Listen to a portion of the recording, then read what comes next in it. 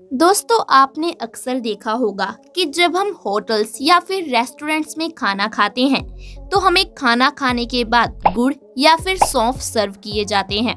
क्या आपने सोचा है कि ऐसा क्यों है? क्यों हमें खाना खाने के बाद सौंफ खाने के लिए दिए जाते हैं? दरअसल दोस्तों, सौंफ हमारे डाइजेशन के लिए बहुत ज़्यादा फ़ायदेमंद होते हैं। ये हमारी कॉन्स्टिपेशन की प्रॉब्लम इनडाइजेशन की प्रॉब्लम को खत्म कर देते हैं। जितना हमारा डाइजेशन स्ट्रॉन्ग होगा, उतना ही हम बीमारियों से बच सकते हैं। दोस्तों, स्वागत है आपका आज की इस वीडियो में, जिसमें कि मैं आपको सौंफ के कुछ ऐसे फ़ायदे बताऊँगी, जिसके बारे में जानकर आप हैरान हो जाएँगे। और आप आज ही खाना खाने के बाद सौंफ खाना ज़रूर शुरू कर देंगे। दोस्तों, सौंफ एक बहुत ही अच्छी आयुर्वेदिक औषधि है। जिसका इस्तेमाल करके आप अपनी कई बीमारियों को खत्म कर सकते हैं। दोस्तों, सबसे पहले मेरी आपसे रिक्वेस्ट है कि अगर आपने अभी तक हमारे चैनल राइट होम रेमेडीज को सब्सक्राइब नहीं किया है तो जल्दी से सब्सक्राइब कर दीजिए और साथ में जो बेल आइकन है, उस पर भी ज़रूर क्लिक करें ताकि जब भी हम कोई नई वीडियो लाएँ तो उसकी नोटिफिकेशन आपको सबसे पहले मिले, क्योंकि हम समय समय पर आपके साथ ऐसी जानकारी शेयर करते हैं। जिसका इस्तेमाल करके आप घर पर ही अपने आप को स्वस्थ रख सकते हैं। आप बीमारियों से छुटकारा पा सकते हैं। तो जल्दी से चैनल को सब्सक्राइब करें। दोस्तों, जैसे कि मैंने आपको बताया कि सौंफ हमारे डाइजेशन के लिए बहुत ज़्यादा फ़ायदेमंद होते हैं। दोस्तों, इनडाइजेशन की वजह से ही हमें कॉन्स्टिपेशन जैसी प्रॉब्लम हो जाती है। कई लोगों को लगता है कि कॉन्स्टिपेशन, इनडाइजेशन ये कोई बीमारी है ही नहीं, लेकिन ये गलत है। दोस्तों, यही सबसे बड़ी बीमारी है। ये एक ऐसी बीमारी है जिसके कारण से आपको सौ और तरह की बीमारियाँ हो सकती है। और आप खुद सोच लीजिए कि अगर आप सौ बीमारियों का इलाज करवाने जाएँगे तो आपके कितने पैसे खर्च हो जाएँगे? दोस्तों, मैं जानती हूँ कि आप मेरी बात पर यकीन नहीं करेंगे। तो चलिए मैं आपको बताती हूँ कि मैं ऐसा क्यों कह रही हूँ। दोस्तों कॉन्स्टिपेशन यानी कि कब्ज होने पर हमारे शरीर से गंदगी बाहर नहीं निकलती। वो गंदगी हमारे शरीर में ही जमा होती रहती है। और जब वो गंदगी चेहरे के ज़रिए बाहर निकलती है तो हमें पिंपल्स की प्रॉब्लम हो जाती है। जब वो गंदगी किडनी के ज़रिए बाहर निकलती है तो किडनी स्टोन की प्रॉब्लम हो जाती है।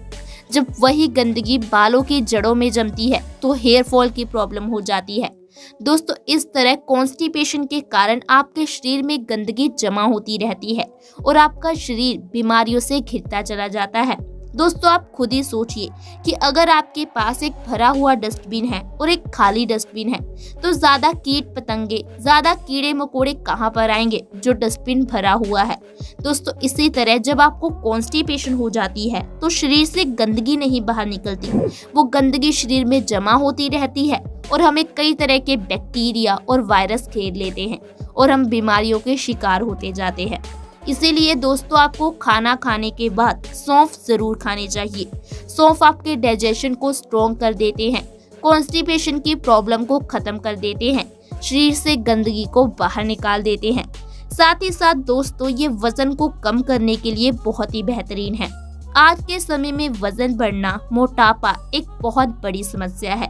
लड़का हो चाहे लड़की, हर कोई चाहता है कि वो पतला रहे, उसकी तोंद ना निकली हो, उसका थुथुला पेट ना हो। इसके लिए बहुत सारे लोग जिम जाते हैं, वर्कआउट करते हैं तरह तरह के सप्लीमेंट्स खाते हैं तरह तरह की दवाइयाँ भी खाते हैं। लेकिन दोस्तों, आपने ये भी देखा होगा कि जब तक तो आप सप्लीमेंट्स खाते हो, दवाइयाँ खाते हो आपका वज़न कम हो जाता है। लेकिन जैसे ही आप सप्लीमेंट्स खाना बंद कर देते हो, आपका वज़न फिर से बढ़ने लगता है। ऐसा क्यों? क्योंकि दोस्तों मेन प्रॉब्लम है आपका मेटाबॉलिज्म रेट जब तक आपका मेटाबॉलिज्म रेट सही नहीं है तब तक आपका वज़न बढ़ेगा ही। दोस्तों, सौंफ आपके मेटाबॉलिज्म रेट को बैलेंस कर देता है। दोस्तों, जब आपका मेटाबॉलिज्म रेट स्लो हो जाता है तो आपका खाया हुआ खाना बहुत धीरे डाइजेस्ट होता है, जिस कारण से आपके शरीर में फैट यानी कि चर्बी जमा होने लगती है।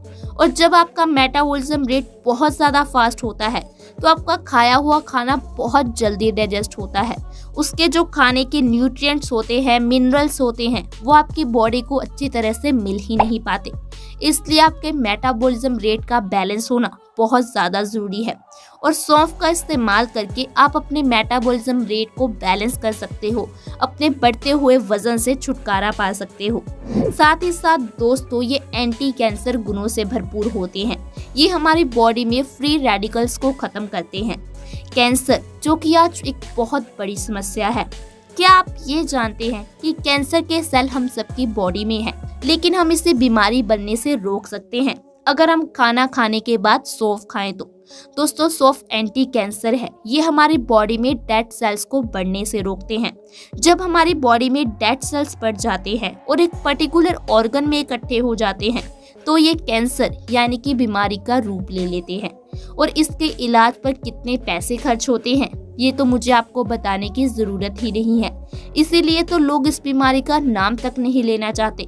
लोग इस बीमारी को दूसरी बीमारी के नाम से बुलाते हैं। लेकिन दोस्तों, इसके बारे में जानकारी होना बहुत ज़्यादा ज़रूरी है। कैंसर से बचने के लिए बस आपको ऐसी चीज़ें खानी है, जो एंटी कैंसर गुणों से भरपूर हो। जो कि कुदरत से, प्रकृति से हमें सीधे रूप में मिलती हो और उसके लिए सौंफ बहुत ही बेहतरीन है। दोस्तों, इसके अलावा सौंफ हमारी आँखों की रोशनी को बढ़ाते हैं। दोस्तों, इसके लिए एक बहुत ही साधारण सी रेमेडी है। आपको बस क्या करना है, बराबर मात्रा में सौंफ, बादाम और धागे वाली मिश्री लेनी है और आपको इसका एक पाउडर तैयार कर लेना है। दोस्तों, अगर आप इस पाउडर का रोज एक चम्मच भी खाते हो तो इससे आपकी आँखों की रोशनी बढ़ने लगती है।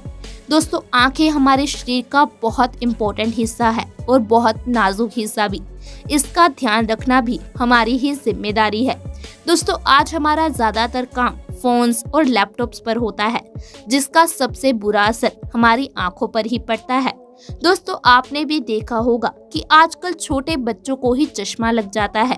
दोस्तों, अगर आप आँखों की रोशनी को बढ़ाना चाहते हो, चश्मे से छुटकारा पाना चाहते हो तो एक बार इस रेमडी को ज़रूर ट्राई करें। और इस रेमडी को आपको कुछ महीने लगातार ज़रूर खाना है।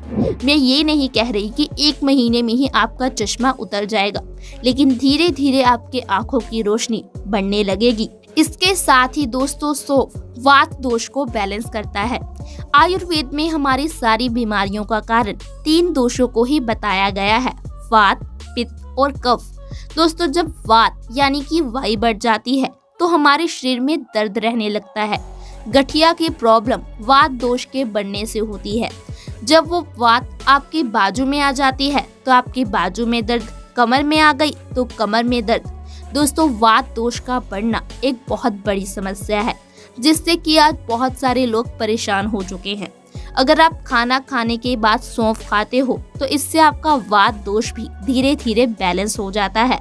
इसके साथ साथ ये एक बहुत ही अच्छा माउथ फ्रेशनर तो है ही। कई लोगों को लगता है कि उनके मुँह से बदबू आने का कारण उनका खाया हुआ खाना है। नहीं दोस्तों हमारे मुँह से जो बदबू आती है, उसका कारण है खाने के बाद हमारे मुँह में पैदा होने वाले बैक्टीरिया। और उन बैक्टीरिया को खत्म करने के लिए सौंफ बहुत ही बेहतरीन है। आप खाना खाने के बाद सौंफ ज़रूर खाएँ। इससे आपके मुँह से जो बदबू आती है, वो प्रॉब्लम बहुत ही जल्दी खत्म हो जाएगी। साथ ही साथ ये कफ कोल्ड को खत्म करने में बहुत ही बेहतरीन है। इस तरह आप खाना खाने के बाद सौंफ खाकर खुद को कई बीमारियों से घर पर ही बचा सकते हैं। मुझे उम्मीद है कि ये जानकारी आपको अच्छी लगी होगी और आप इसे ज़्यादा से ज़्यादा शेयर करना बिल्कुल नहीं भूलेंगे। और अगर आपको वीडियो अच्छी लगी हो तो जल्दी से इसे लाइक करें, ज़्यादा से ज़्यादा शेयर करें और चैनल को सब्सक्राइब करना बिल्कुल भी ना भूलें। आपसे अगली वीडियो में मिलेंगे। तब तक के लिए बाय